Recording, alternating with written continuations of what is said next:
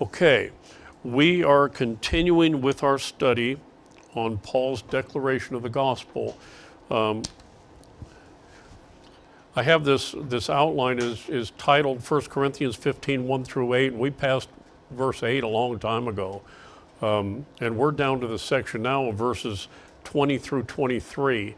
Last week we spent a good deal of time dealing on Paul's um, argument, uh, logical argument about how it is that Christ had to be risen, because if he wasn't, ri- or if his argument that, that, that there is a resurrection, because if there isn't a resurrection, then Christ isn't risen, and if Christ isn't risen, then we're still in our sins. This week, we're going to see that Paul confidently affirms the resurrection of Christ and the future resurrection of those that are in Christ. Um, verses 20 through 23. But now is Christ risen from the dead and become the first fruits of them that slept. For since by man came death, by man came also the resurrection of the dead. For as in Adam all die, even so in Christ shall all be made alive, but every man in his own order. Christ the firstfruits, afterward they that are Christ's at his coming. Now, Paul says that Christ is now risen from the dead. The current status that Paul is talking about here is that Christ is still risen, that he's still alive, that he, he is risen from the, not that he was, that he is risen from the dead. Now, there were, there were a number of people looking at the scripture that had been resurrected before, that had risen from the dead. Lazarus was one of them. You remember Christ called to him, Lazarus, come forth, and he came out of the, came out of the grave. Um, at, at the time of the crucifixion, there were multitudes of people that were risen from the dead, but see, they all died again. They, they might have been risen from the dead, but they, did, they weren't there forever. They were only there for a time, and then they died again. Christ didn't die again, and that's the point. That's why when we see reference to him being the firstborn or the first fruits, he's the first that was raised in this sense. Yes, there were others that had been raised. There was the little boy that, uh, um, that Elijah raised from the dead. There was the, there was the, the, the boy that had fallen out of the balcony when Paul was preaching that Paul raised from. The, so there were there are numerous cases of people being raised, but but not not to immortality. They were raised again, but they went on, they went on to die. Christ hasn't died again. And that's an important point. Christ's dead body was raised immortal. Now, immortal means not mortal, not liable or subject to death, deathless, undying, living forever. Someone that is immortal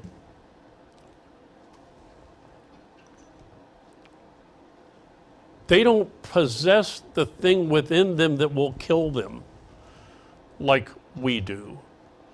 See, we're born with a, with a, a nature that eventually we're not going to live forever. We're going to, this body's going to fall over dead someday. Um, but if you were raised immortal, then you don't have that thing within you that will cause you to eventually die. And that's the situation that, that, that Christ is in. And, and his immortality is a central part of the gospel. Look over to Acts chapter 13 in verse 32. Acts 13, 32. And we declare unto you glad tidings, how that the promise which was made unto the fathers, God hath fulfilled the same unto us their children in that he hath raised up Jesus again, as it is also written in the second psalm, Thou art my son, this day have I begotten thee. And as concerning that he raised him up from the dead, now no more to return to corruption, he said, On this wise I will give you the sure mercies of David. Wherefore he saith also in another psalm, Thou shalt not suffer thine Holy One to see corruption. For David, after he had served his own generation by the will of God, fell on sleep and was laid unto his fathers and saw corruption. But he whom God raised again saw no corruption. So Christ's immortality is essential to the to the to, to the gospel. He was raised to no more return to corruption. And Paul demonstrated that according to the scriptures, um, that Christ's resurrection was to immortality. Okay? and we will remember that in this own, in this passage when he was when he talked about um, in, in 1 Corinthians chapter 15, earlier on in verse 4, that he was buried and then he rose again the third day, according to the scriptures. That's a central part of this. Um, and in Romans chapter 6 and verse 9, it says that knowing that Christ, being raised from the dead, dieth no more, death hath no more dominion over him. Now, why is that important? You'll see as we move on. In Revelation chapter 1 and verse 18,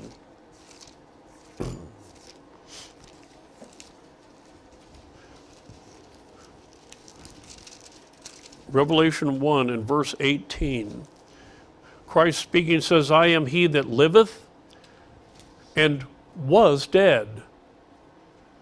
You see, liveth present tense, was des, dead past tense. That argues a resurrection right there. I used to be dead, but I'm not anymore. I'm alive. I am he that liveth and was dead, and behold, I am alive forevermore. Amen. And have the keys of hell and death. So the fact that he lives now and was dead declares his resurrection, and that he's alive forevermore declares his immortality. If Christ Jesus ever dies again, it will nullify all of his claims and everything he ever did. Okay? Um, now, we're told that he's the first fruits of them that slept. Look over at Acts chapter 26.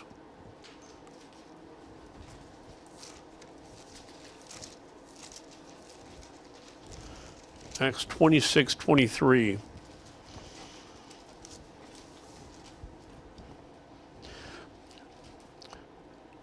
Look at verse 22 just to get context. Having therefore obtained help of God, I continue unto this day. This is Paul speaking, witnessing both to small and great, saying none other things than, than those which the prophets and Moses did say should come See, that's an interesting point that Moses and the prophets had prophesied about Christ coming into the world.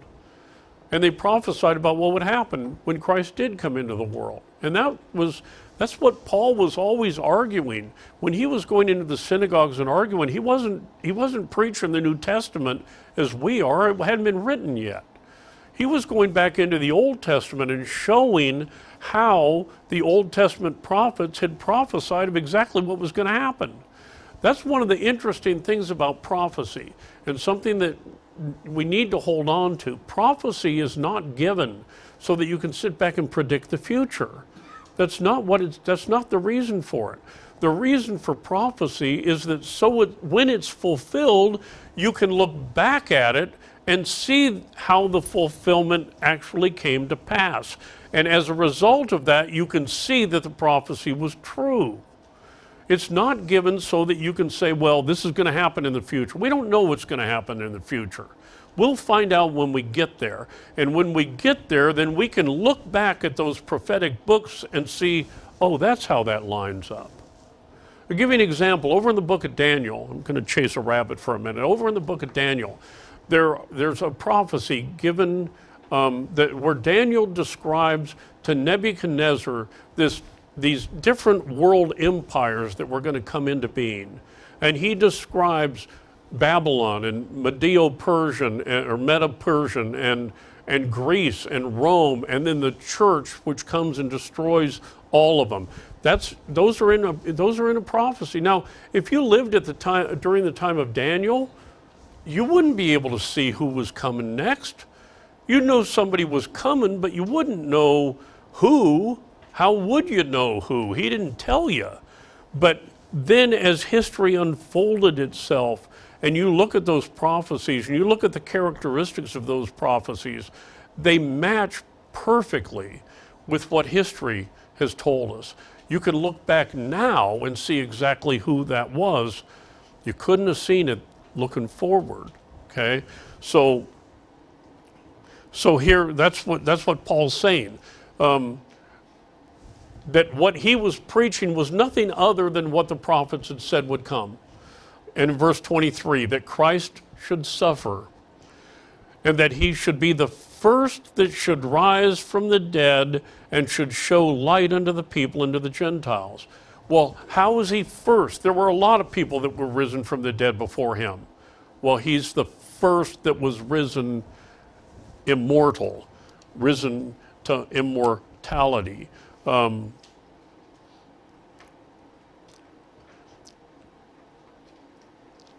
and being the first fruits of them that slept, that declares that those who slept will also rise as he did. He's the first fruit of those who slept. Um, look at John chapter 14.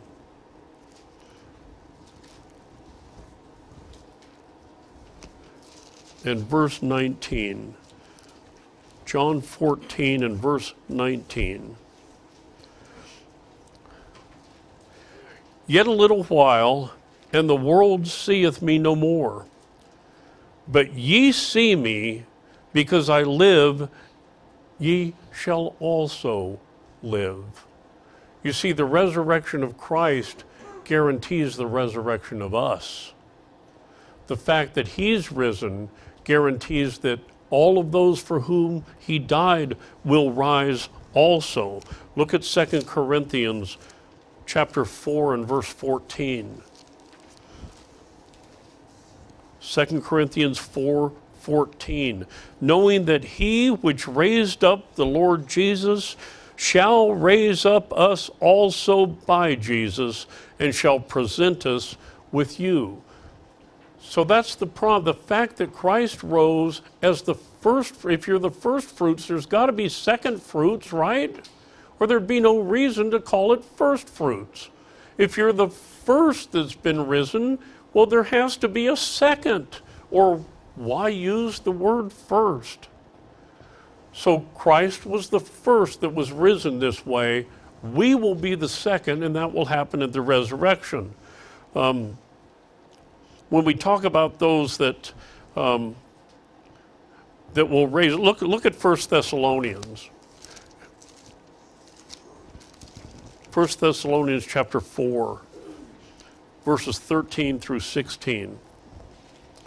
1 Thessalonians 4, verse 13. But I would not have you to be ignorant, brethren, concerning them which are asleep that you sorrow not, even as others which have no hope. For if we believe that Jesus died and rose again, even so them also which sleep in Jesus will God bring with him. For this we say unto you by the word of the Lord, that we which are alive and remain unto the coming of the Lord shall not prevent them which are asleep. Now, this is an interesting point. You know, these passages are used constantly by those that want to teach the idea of a rapture, and yet this verse proves there can't be one. It absolutely, by the, by the primary meaning of the word prevent, it proves there cannot be a rapture of live people before the resurrection of the dead, which happens at the last day. It absolutely proves it. You say, well, how is that, Pastor? Well, the, the primary meaning, remember, we define words by their primary meanings, right? The primary meaning of the word prevent, pre, which means before, vent, meaning event, something before another event, it means it go before or precede. Okay, now look at the look at the at the verse based on that definition. We which are alive and remain unto the coming of the Lord shall not prevent, go before precede happened before them which are asleep. The resurrection comes before those of us that are still alive at the time are changed and caught up to meet Christ in the air. Therefore, there can't be a situation where we get out of here early without and leave those behind. And that's what Paul is arguing. We don't get out of here and leave the dead in the ground. No, the dead in Christ rise first. Continue to read on. For, the, for, for the, the Lord himself shall descend from heaven with a shout, with the voice of the archangel, and with the trump of God, and the dead in Christ shall rise first. Then we which are alive and remain shall be caught up together with them in the clouds to meet the Lord in the air, and so shall we ever be with the Lord. Okay? So the promise because Christ was resurrected and is still alive, there's the promise that we will be resurrected and will live with him in paradise forever.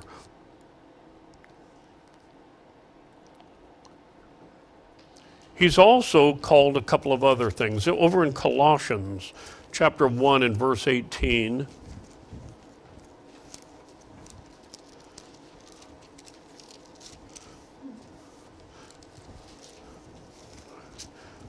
Colossians 1:18, and he is the head of the body, the church, who is the beginning, the firstborn from the dead, that in all things he might have the preeminence.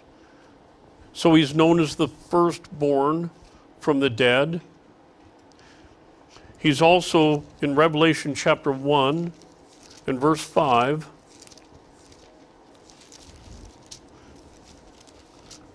Revelation 1 5, and from Jesus Christ, who is the faithful witness and the first begotten of the dead, and the prince of the kings of the earth, unto them that loved us and washed us from our sins in his own blood. So he's the first begotten of the dead, he's the first born from the dead. And in Hebrews chapter 6, he's the forerunner. Hebrews chapter 6 verses 19 and 20. Which hope we have as an, as an anchor of the soul, both sure and steadfast, and which entereth into that within the veil, whether the forerunner is for us entered, even Jesus made an high priest forever, after the order of Melchizedek. so all this declares that those who sleep in Jesus will rise from the dead and enter heaven the same way that Christ did. And this fulfilled the type that was set forth over in Moses' law in Leviticus chapter 23.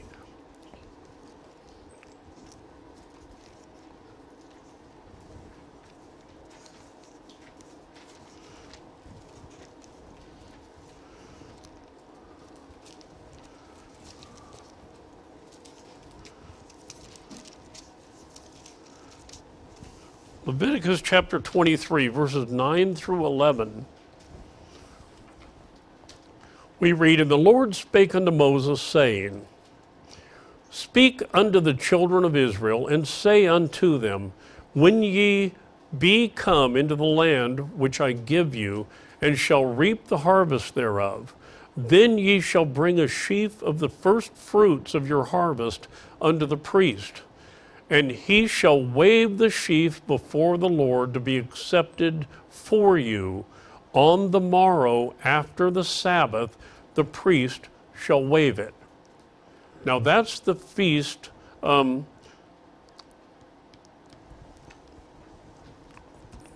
forget which one that one's called. Um, the Feast of Pentecost. That's the. There were four feasts that the, the Jewish men had to attend to. This is the one right after Passover. This is the feast right after Passover, okay?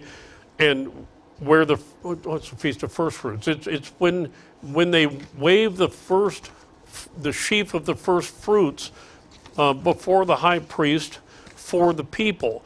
It follows the Feast of Passover and unleavened bread, which portrayed Christ putting away our sins. Okay? In the same chapter, Leviticus 23, only in verses 5 through 8, we have, we have those feasts. Um, Leviticus 23, verse 5 In the 14th day of the first month at even is the Lord's Passover. And on the 15th day of the same month is the feast of unleavened bread unto the Lord. Seven days ye must eat unleavened bread. In the first day ye shall have an holy convocation. Ye shall do no servile work therein. But ye shall offer an offering made by fire unto the Lord seven days. In the seventh day is an holy convocation. Ye shall do no servile, servile work therein. That's Passover. Now, you know, this answers some problems that some folks have with this idea that Christ was crucified, had to get, had to get him down off the cross before the Sabbath, which is true. And so they come to the conclusion that he must have been crucified on a Friday and, and, and rose on, on Sunday morning, which is obviously true if you read the scripture. But not the Friday to Sunday morning part. He rose after three days. We looked at that verse just a couple of minutes ago. The one sign that he gave that he was the Messiah was that he would be in the ground three days and three nights. And I don't care what kind of common core math you want to use, you can't get three days and three nights out of Friday afternoon to Sunday morning. You can't do it. This answers the problem.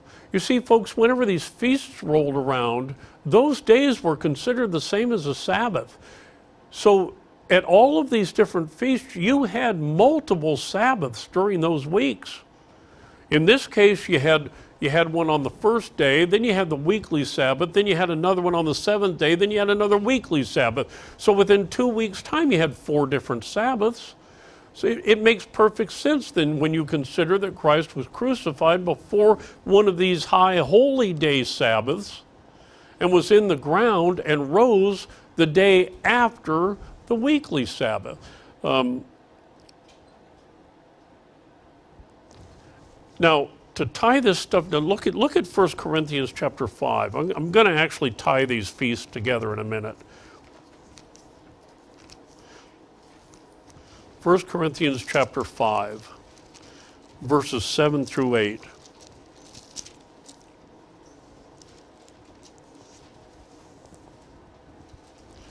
Where Paul says, Purge out therefore the old leaven, that it may be a new lump, for as uh, as ye are unleavened, for even Christ, our Passover, is sacrificed for us. Therefore, let us keep the feast, not with old leaven, neither with leaven of malice and wickedness, but with the unleavened bread of sincerity and truth.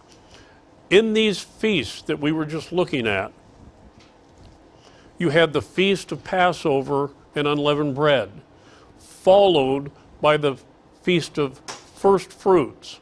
That feast, when it was, when it was waved, that was the day after the Sabbath.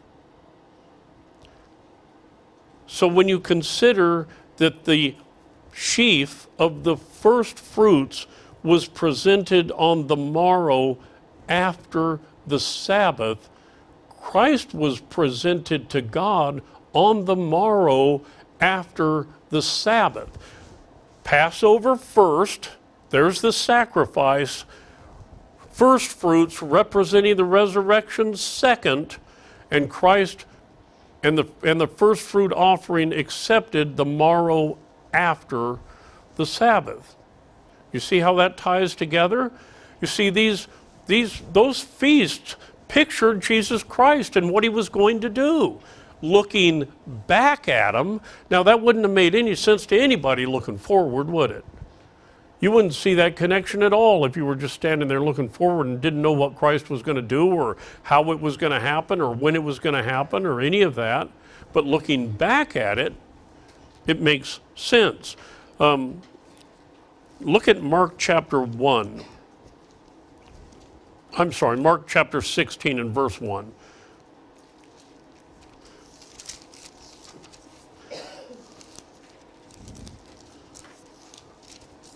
Mark 16 and verse 1. And when the Sabbath was past, Mary Magdalene and Mary, the mother of James, and Salome had bought sweet spices that they might come and anoint him. And very early in the morning, the first day of the week, they came under the sepulchre at the rising of the sun. You see, the morning the mar- after the Sabbath. That was when Christ was raised, and one of the things that he did was presented himself to God at that time. Look at, um, um, where am I here? Look at verse 9. Now, when Jesus was risen early, the first day of the week, he appeared first to Mary Magdalene, out of whom he had cast seven devils. So you see, he was raised, and he after that he presented himself. Um, so the sheaf was weighed before the Lord to be accepted for the people, and the risen Christ pre- presented himself before God, and is accepted for his people. Look at Hebrews chapter 9.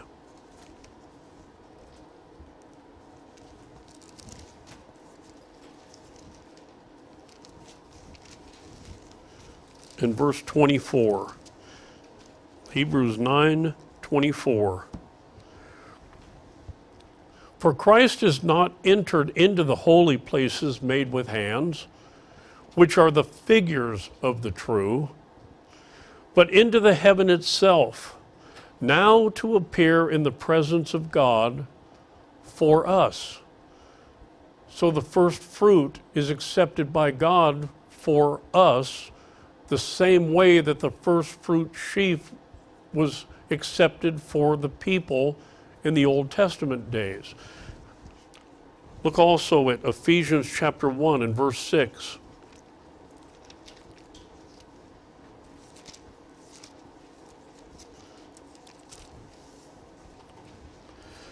to the praise of the glory of his grace, wherein he, that's God, hath made us accepted in the beloved, that's Christ.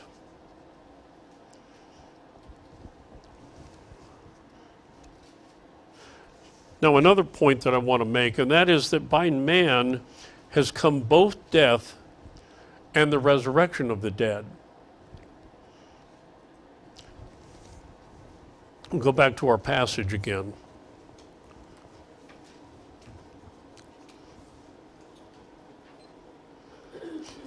Verse 21, 1 Corinthians 15 21. For since by man came death, by man came also the resurrection of the dead. Now, Paul had just affirmed the resurrection of Christ. And since Christ is a man, we're told that in 1 Timothy chapter 2 and verse 5, by man comes the resurrection of the dead. It wouldn't do, see, in order to pay the sin, pay for the sins, the price for the sins of the people, it wouldn't do, do to sacrifice something that hadn't sinned, would it? See, man is the one that, that created the problem. Therefore, man is the one that has to pay the price for the problem. Killing sheep doesn't do any good relative to sin. Because sin, or sheep, didn't eat of the forbidden fruit in the Garden of Eden. They're not the ones that caused the problem. If they had caused the problem, then they're the ones that would have to pay the price. But no, man did that. I, I just pictured that little picture of I did that. We should have Adam in that one, right? Um, man's the one that committed the sin, man's the one that caused the problem. Therefore, man had to pay the price for the problem. Um, Romans chapter 5 and verse 12 says, Wherefore, as by one man sin entered into the world, and death by sin, and so death passed upon all men for, all, for that all have sinned. That's how it got in here. That's how death was introduced. It was by Adam. So it was necessary that a man die for our sins if we're going to be saved from death. You can kill sheep and goats and bulls all you want to, but that's not going to pay the price for man. It might pay the price for sheep and goats and bulls, but not man. A man had to pay that price. Hebrews chapter 2. Unfortunately, if we tried to pay the, well, there will be folks that will pay and will end up paying that price. Um, those that were not, that are not in the salvation by Jesus Christ, will pay that price. They'll pay the price of death. But in order to pay the price, the debt is so huge that you can suffer for eternity and still owe at the end of it. And that's what eternal punishment is, is that's why. That's the purpose for it. That's why why if you end up there, you end up there forever. Because you'll pay forever and still owe on the debt worse than owing to the IRS. Interest rates insane. Hebrews chapter 2, verses 14 through 17. For as much then as the children are partakers of flesh and blood, he also himself likewise took part of the same, that through death he might destroy him that had the power of death, that is the devil and delivered them who through fear of death were all their lifetime subject to bondage. For verily he took not on him the nature of angels, but he took on him the seed of Abraham. That's interesting, isn't it? He didn't take on the seed of Adam. I wonder why he didn't take on the seed of Adam. Well, because he didn't take on the seed of the entire human race. He took on himself the seed of Abraham, the chosen people that's the seed, that's who he died for. He paid the price for them. He didn't pay the price for everybody. He paid the price for God's elect children. Wherefore, in all things it behooved him to be made like unto his brethren, that he might be a merciful and faithful high priest in things pertaining to God, to make reconciliation for the sins of the people. So the man Christ Jesus, having put away our sins by his death, rose from the dead, thus undoing the effect of sin. Remember, the effect of sin is death. Well, he undid that. By paying the ultimate price, he undid that, and he did it for us. So, by man, a human being with a flesh body, has come the resurrection of the dead a human being with a flesh body caused the problem to start with, and a human being with a flesh body solved the problem. Job asked in Job 14, 14, if a man die, shall he live again? And 1 Corinthians 15, 21 answers uh, resoundingly, yes, he shall. We're also told here that in Adam all die.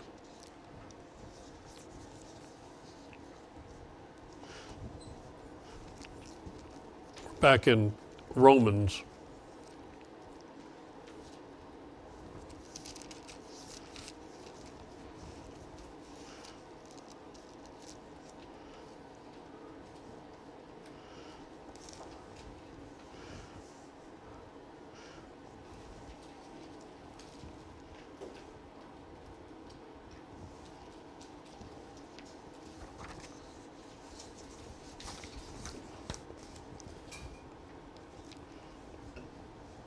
Now, when, we're, when we talk about in Romans 5:12, wherefore is by one man sin entered into the world and death by sin, that the, this death, the death that we're talking about here, we're not talking about the spiritual side of it. We're talking about the physical side of it. There's a spiritual death that all mankind has dealt with. Then there's a physical death that is a result of that. And so what we're talking about right now is that physical death. Do you follow me on that? Uh, because your spiritual resurrection happens in this life in the new birth. Your physical resurrection happens at the end of time. So we're not talking about the spiritual resurrection, which is the new birth. That has already happened. I'm assuming for everyone in the room that's a member here. the resurrection of our bodies, the physical part of it, is what we're talking about. So, so let's not confuse the two deaths. Um,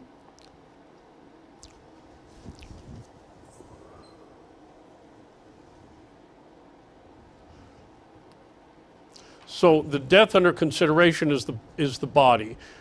And this subject was introduced in the beginning of the chapter when Paul first presented the death, the burial, burial, and the resurrection of Christ's human body, uh, which he proceeds, that's what he proceeds to build the reasoning on.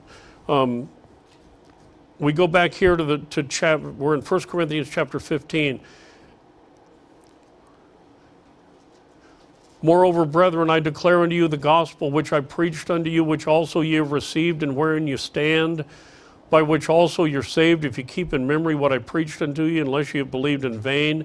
For I delivered unto you first of all that which also I received, how Christ died for our sins according to the Scriptures, and was buried, and that ro- he rose again the third day according to the Scriptures. You see, we're talking about the, the physical the physical sides of, thing, of things. And that verb die is in the present tense. Um, human bodies are presently dying. You've been dying since the day you were born. Each day that goes by, you die a little bit more until finally you, death wins out and you have more death than you got life, and that's the, and that's the end. Um, and even our living bodies, they're in the process of dying. Look at 2 Corinthians chapter 4 and verse 16. For which cause we faint not, but though our inward man perish, yet the in, though our outward man, I'm sorry, our outward man perish, this body that we've got, Yet the inward man is renewed day by day, but the outward man, the flesh, the body, it's, it's dying. And it's been dying from the very get go. Um, and we see it constantly taking place all around us.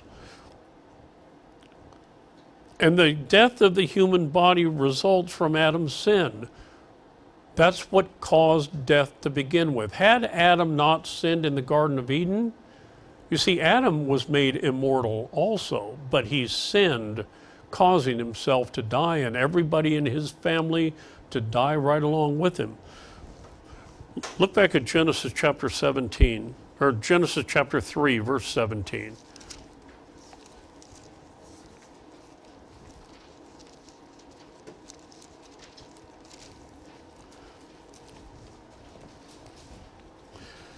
And unto Adam, this is after the sin, unto Adam he said, Because thou hast hearkened unto the voice of thy wife, and hast eaten of the tree of which I commanded thee, saying, Thou shalt not eat of it. Cursed is the ground for thy sake, in sorrow shalt thou eat of it all the days of thy life. Thorns also and thistles shall it bring forth to thee, and thou shalt eat the herb of the field. In the sweat of thy face shalt thou eat bread till thou return to the ground, for out of it wast thou taken. For dust thou art, and unto dust thou shalt return.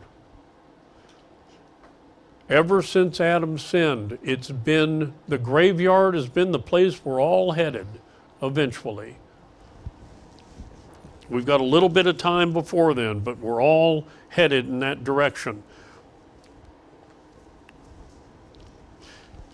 And another point, and we find this over, the first place we find it over in Romans chapter 5.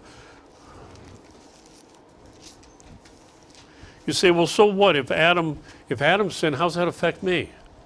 Just because this guy back in the Garden of Eden, he did something wrong, why does that affect me? Um, well, the easy answer is that when God gave the commandment to Adam, he saw the entire human race in Adam. We were all there. Now, this is probably a bad analogy, but um, one of the things I found out when I first started having chickens was that when a hen is born, and I didn't know women are the same way, that when a hen is born, every egg that that hen will ever lay is already present within the, the body of that chicken. They're all there. And it's the same with women. Every egg that they have is already there to be released however that happens to work. Well, God saw that the entire human race was in Adam at the time that he sinned. The same type of thing. Now, um, I mean, if you take every family and all of them, add them all up, we're all there. He saw all of us. So when Adam sinned, it affected everybody that was in his bloodline from the time that he lived until the end of time. That's everyone. With, and the only reason that Jesus Christ didn't have sin was because Adam wasn't Jesus Christ's father. God was. In Romans chapter 5, in verse, beginning of verse 17, for if by one man's offense death reigned by one, much more they which receive abundance of grace and of the gift of righteousness shall reign in life by one Jesus Christ. Therefore, as by the offense of one, judgment came upon all men to condemnation, even so, by the righteousness of one, the free gift came upon all men unto justification of life. Now, that all men in both of those cases is all men to whom it applies. In Adam's case, it applies to every human being without exception. In Christ's case, it, it uh, uh, refers to all of those that apply to that, all of those that are in Christ. Verse 19 For as by one man's disobedience many were made sinners, so by the obedience of one shall many be made righteous. Now, let me show you, show you this principle in another, in another passage. If we look over at Hebrews chapter 7, you will remember that Abraham gave tithes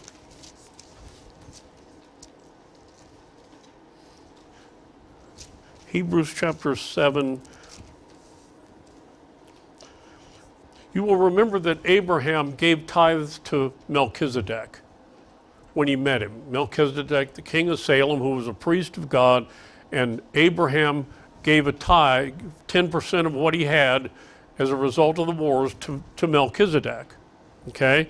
In verse, uh, verse 1 For this Melchizedek, king of Salem, priest of the Most High God, who met Abraham returning from the slaughter of the kings and blessed him, to whom also Abraham gave a tenth part of all, first being by interpretation king of righteousness, and after that also king of Salem, which is king of peace. So we see Abraham giving tithes to Melchizedek.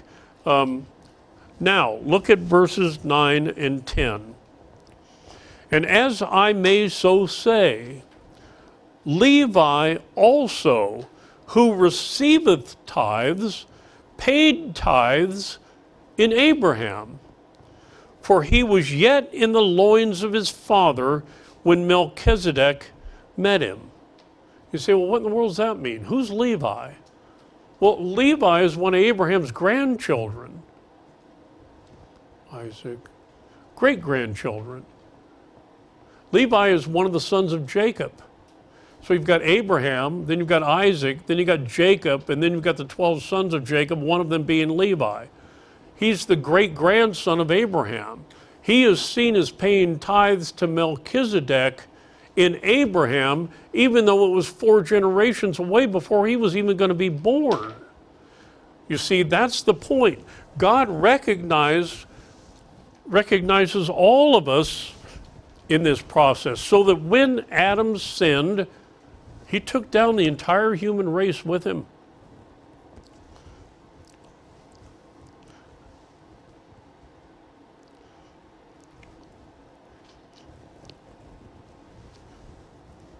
Me get back to my passage again.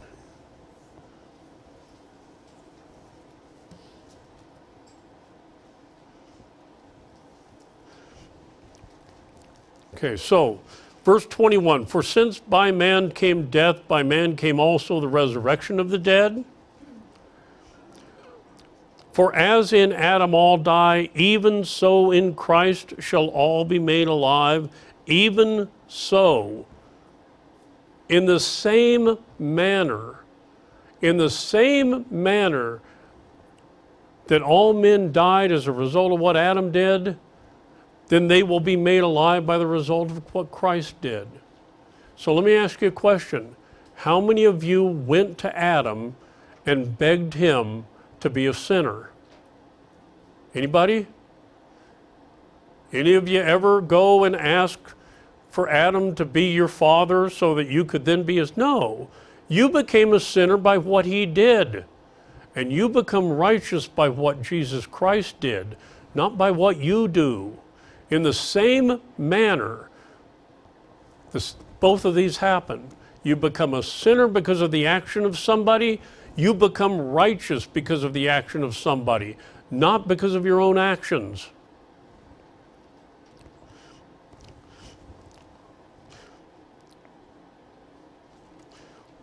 For since by man came death, by man came also the resurrection of the dead. For as in Adam all die, even so in Christ shall all be made alive. See, one of the things we need to, we need to remember is that this death, we're not going to escape that. If we live here long enough and the Lord delays his coming, every one of us is going to end up dead eventually, some later than others. But that's a fact as a result of what Adam did. So that's not our hope. Our hope is not that we're going to live here forever on this planet. Our hope is that we're going to live somewhere else. Our hope is that we're going to re- be resurrected to something better. Because it's, it's, a, it's a fact that we're not going to be here. The idea of trying to extend our life way beyond what we should, we're still going to eventually die. That can't, that's not our hope.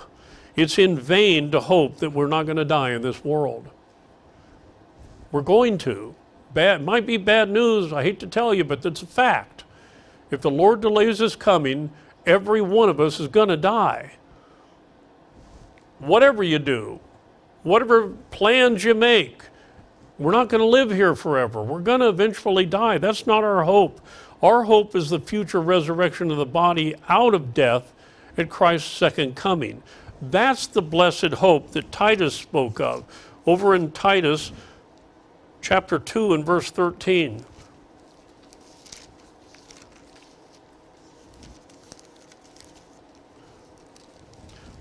Titus 2 13.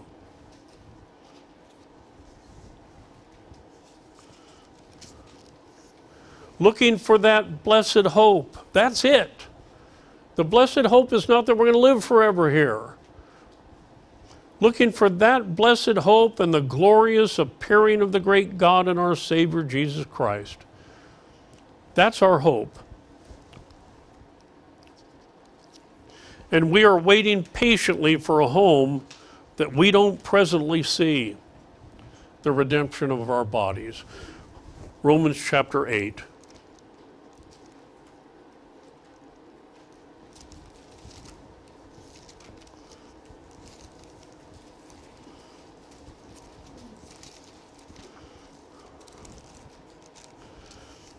Verses 23 through 25.